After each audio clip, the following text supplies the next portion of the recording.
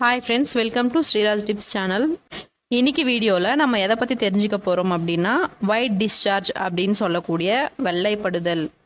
So அதை பற்றி தான் இந்த வீடியோவில் நம்ம டீட்டெயிலாக தெரிஞ்சுக்க போகிறோம் வெள்ளைப்படுதல் வந்து நார்மலான விஷயமா இல்லைன்னா வந்து அப்நார்மலாக எப்போ நம்ம டாக்டரை போய் கன்சல்ட் பண்ணணும் என்ன மாதிரி விஷயங்கள் நம்ம வெள்ளைப்படுதலில் வந்து ஃபாலோ பண்ணணும் அப்படிங்கிறத பற்றி தான் இந்த வீடியோவில் நம்ம டீட்டெயிலாக பார்க்க போகிறோம் ஸோ வீடியோ ஸ்கிப் பண்ணாமல் ஃபுல்லாக பாருங்கள் நீங்கள் இப்போ தான் நம்மளோட சேனலை ஃபஸ்ட் டைம் விசிட் பண்ணுறீங்க அப்படின்னா மறக்காமல் சப்ஸ்கிரைப் பண்ணி வச்சுக்கோங்க. அப்படியே பக்கத்தில் உள்ள பெல் ஐக்கானை கிளிக் பண்ணி அதில் ஆல் ஒன்ற ஆப்ஷன் செலக்ட் பண்ணி வச்சுக்கோங்க.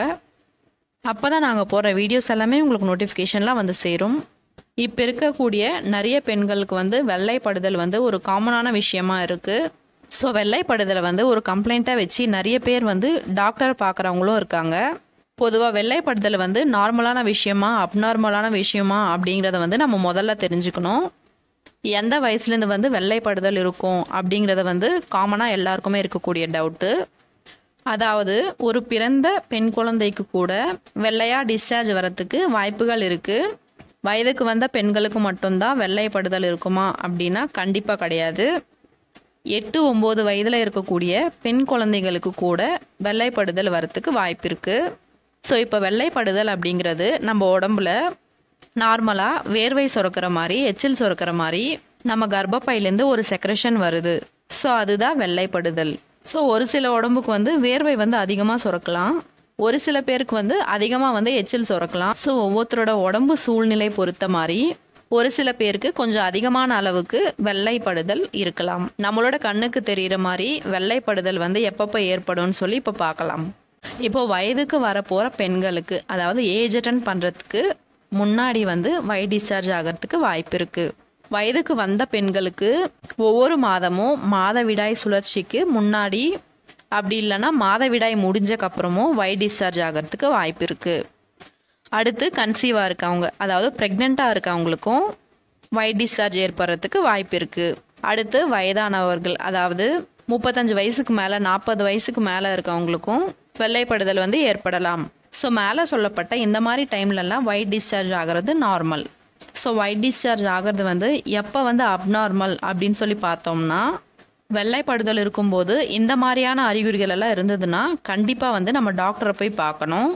வெள்ளைப்படுதல் இருக்கும்போது அரிப்பு இருந்தாலோ இல்லை பிறப்பு உறுப்பில் வந்து எரிச்சல் இருந்தாலோ இல்லை யூரின் போகும்போது எரிச்சலோட வலியோட யூரின் போனாலோ இல்லை பேட் ஸ்மெல்லோட வந்து ஒயிட் டிஸ்சார்ஜ் ஆனாலோ இல்லை நம்மளுக்கு டிஸ்சார்ஜ் ஆகக்கூடிய அந்த ஒயிட் டிஸ்சார்ஜ் வந்து க்ரீன் கலர்லேயோ இல்லைன்னா பழுப்பு கலர்லேயோ இருந்தாலோ இல்லை அதிகமாக வந்து ஒயிட் டிஸ்சார்ஜ் ஏற்பட்டாலோ நீங்கள் டாக்டரை போயிட்டு கண்டிப்பாக வந்து பார்க்கணும். இந்த மாதிரியான அறிகுறிகள் எல்லாம் இருந்தது அப்படின்னா நம்மளோட பிறப்பு உறுப்பில் தொற்று கிருமிகள் பாதிக்கப்பட்டு அதனால் அந்த இன்ஃபெக்ஷனால் வெள்ளைப்படுதலோடு சேர்த்து இந்த அறிகுறிகள் எல்லாம் இருக்கிறதுக்கு நிறைய வாய்ப்புகள் இருக்குது நார்மலாக மாதவிடாய் சுழற்சி நடக்கும்போது வெள்ளைப்படுதல் ஏற்படும். இது வந்து நார்மலான விஷயம். இது வந்து எந்த மாதிரி இருக்கும் அப்படின்னா நார்மலான வெள்ளைப்படுதல் அப்படிங்கிறது சளி மாதிரி இருக்கும். அந்த சளி இருக்கிற கலர்லேயே வந்து வெள்ளைப்படுதல் ஏற்படும்.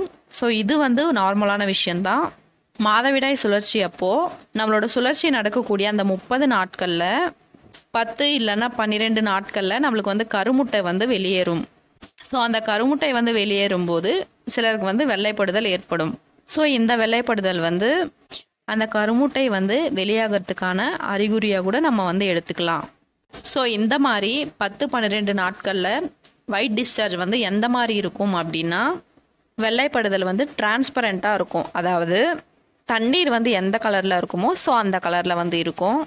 ஸோ அடுத்து ஒரு நாலு நாட்களுக்கு அப்புறமா ஒயிட் டிஸ்சார்ஜ் வந்து கொஞ்சம் திக்காக ஒயிட் கலரில் ஏற்படுறதுக்கு வாய்ப்பு இருக்குது அடுத்து பீரியட்ஸ்க்கு ரெண்டு நாட்களுக்கு முன்னாடி வந்து ஒயிட் டிஸ்சார்ஜ் வந்து ஒயிட் கலராக வாட்டரியாக ஆகிறதுக்கு வாய்ப்பு இருக்குது ஸோ இது எல்லாமே வந்து நார்மல் தான். ஸோ நான் முன்னாடி சொன்னேன் அந்த மாதிரியான அறிகுறிகளோடு உங்களுக்கு வந்து ஒயிட் டிஸ்சார்ஜ் ஆச்சுன்னா கண்டிப்பாக நீங்கள் வந்து மருத்துவரை போய் அணுகணும். ஸோ வெள்ளைப்படுதல் வந்து இருக்கும்போது டயர்ட்னஸ் இருக்கும். ஒரு சிலருக்கு வந்து சில பேருக்கு வந்து மன அழுத்தம் இருக்கும்போது படிக்கும்போது ரொம்ப ஸ்ட்ரெஸ் இருக்கிறவங்களுக்கு கூட ஒயிட் டிஸ்சார்ஜ் ஏற்படுறதுக்கு வாய்ப்பு இருக்குது ஒரு சிலருக்கு வந்து உணவு பழக்கங்கள் மூலமாக கூட வெள்ளைப்படுதல் ஏற்படுறதுக்கான வாய்ப்பு இருக்குது ஸோ நம்மளோட உடம்புக்கு நார்மலாக ரத்த ஓட்டம் இருக்கிற மாதிரி நம்மளோட கர்ப்பப்பைக்கும் வந்து அந்த மாதிரி நார்மலாக வந்து ரத்த ஓட்டம் இருக்கும். ஸோ எப்போ நம்மளோட கர்ப்பப்பைக்கு வந்து அதிகமாக ரத்த ஓட்டம் இருக்கோ ஸோ அப்போ தான் வந்து ஒயிட் டிஸ்சார்ஜ் வந்து அதிகமாக ஏற்படும். ஸோ அந்த மாதிரி ரத்த ஓட்டத்தை தூண்டக்கூடிய உணவுகள் அதாவது காரமான உணவுகள் உடம்புக்கு ஹீட் ஆகக்கூடிய உணவுகள் அதாவது நம்ம சில உணவுகள் சாப்பிடும்போது பாடி ஹீட் வந்து ரொம்ப அதிகரிக்கும். ஸோ அந்த மாதிரி உணவுகள் சாப்பிடும்போது நம்மளோட கர்ப்பப்பைக்கு வந்து ரத்த ஓட்டம் வந்து அதிகமாக இருக்கும். ஸோ அதனால் வந்து சில பெண்களுக்கு வந்து வெள்ளைப்படுதல் ஏற்படலாம். அடுத்து வந்து இம்யூனிட்டி சிஸ்டம் அதாவது நோய் எதிர்ப்பு சக்தி கம்மியாக இருக்கிற பெண்களுக்கும் ஒயிட் டிஸ்சார்ஜ் ஆகிறதுக்கு வாய்ப்பு இருக்குது இன்னொரு முக்கியமான காரணம் சுகர் பேஷண்ட்ஸாக இருக்கவங்க சுகர் இருக்குது அப்படின்னா அவங்களுக்கு ஒரு அறிகுறியாக கூட இந்த வெள்ளைப்படுதல் வந்து ஏற்படும்.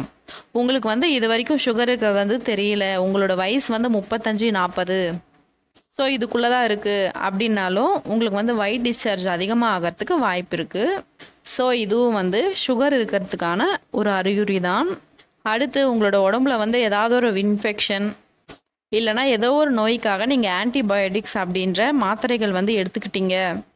உங்களோட உடம்புல இருக்கக்கூடிய கிருமிகள் அழிக்கிறதுக்கு அந்த ஆன்டிபயோட்டிக் டேப்லெட் வந்து நீங்கள் போடும்போது உங்களுக்கு வந்து ஈஸியாக ஃபங்கல் இன்ஃபெக்ஷன் வரத்துக்கு வந்து வாய்ப்பு இருக்குது ஸோ உங்களோட பிறப்பு உறுப்பில் வந்து ஃபங்கல் இன்ஃபெக்ஷன் ஆகி ஸோ அதனால் கூட உங்களுக்கு வந்து வயிட் டிஸ்சார்ஜ் ஆகலாம்.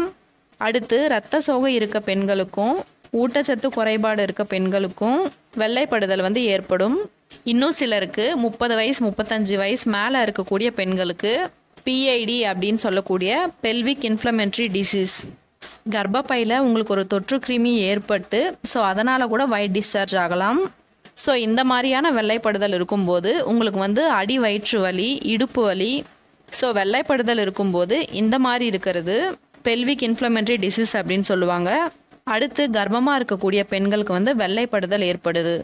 இப்போது ப்ரெக்னென்ட்டான முதல் மூணு மாசத்துல வெள்ளைப்படுதல் ஏற்படுறது ரொம்ப காமனான விஷயம். ஸோ அந்த வெள்ளைப்படுதல் வந்து எப்படி இருக்கும்னா சளி மாதிரி உங்களுக்கு சளி கன்சிஸ்டன்சியில் இருக்கிறதுக்கான வாய்ப்பு இருக்குது ஸோ கன்சீவாக இருக்கும்போது கர்ப்பப்பையில் வந்து அதிக அளவு வந்து ரத்த ஓட்டம் இருக்கும். ஸோ அந்த மாதிரி அதிகமான ரத்த ஓட்டம் வந்து கர்ப்பப்பைக்கும் பிறப்பு உறுப்புக்கும் இருக்கும்போது ஒயிட் டிஸ்சார்ஜ் வந்து ஏற்படும். ஸோ இந்த ஒயிட் டிஸ்சார்ஜ் நார்மல் ஸோ ப்ரெக்னெண்ட்டாக இருக்கவங்களுக்கு முன்னாடி சொன்ன அறிகுறிகள் வந்து இருந்தது அப்படின்னா நீங்கள் வந்து டாக்டரை கன்சல்ட் பண்ணிவிட்டு உங்களுக்கு எந்த மாதிரியான அறிகுறிகள் இருக்குன்னு சொல்லி கண்டிப்பாக நீங்கள் டாக்டர்கிட்ட வந்து சொல்லணும்.